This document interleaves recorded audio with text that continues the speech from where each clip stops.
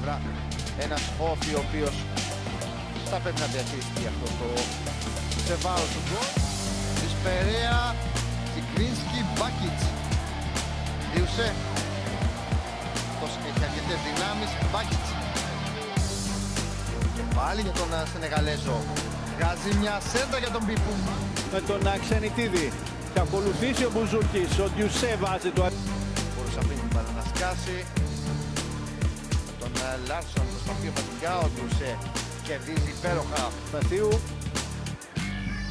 Το ξεπερνάμε το 74 στο παιχνίδι και το 0-0 παραμένει. Κιθουμά. Βαλογιάννης με λιγότερες προωθήσεις σίγουρα στο δεύτερο μήχρονο σχέση με όσα έχει κάνει στο πρώτο μέρος εκεί που θα μπορούσε κάλλιστα να χτίσει και σκόρερ. Έσκαψε την μπάλα για τον Μπερνάρ, δεν έφτασε αυτή.